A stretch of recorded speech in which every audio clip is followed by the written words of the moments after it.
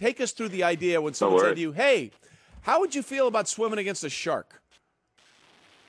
Well, I mean, for me as a kid growing up, like I, I always had this huge infatuation with sharks. So I thought it would be kind of a cool idea to one have a chance to dive and see some of these amazing animals close up.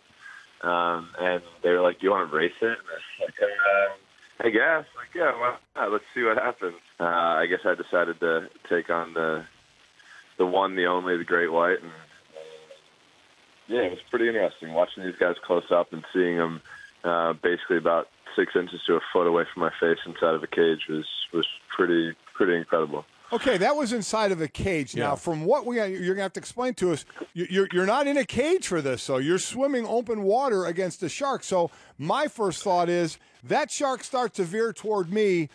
I'm going to be in a lot of trouble. So take us through that thought process of when they said you're going to be in the ocean with the shark with no cage.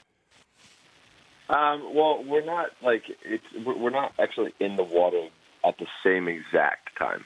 Uh, I think that's that's one thing that that we all should know. But you know, being able to see just sort of how fast they go and and, and kind of how they are in their home, I think was uh, a learning experience for me. And and I mean, I I was free diving with a bunch of other different sharks, just not a great white. Uh, not yet. I actually joke with my wife all the time that I want to free dive or um, be out of a cage with a white. I'm sure Uh, she I thought that was real funny. Incredible. Yeah, I'm sure she thought that Uh, was just a laugh that. riot.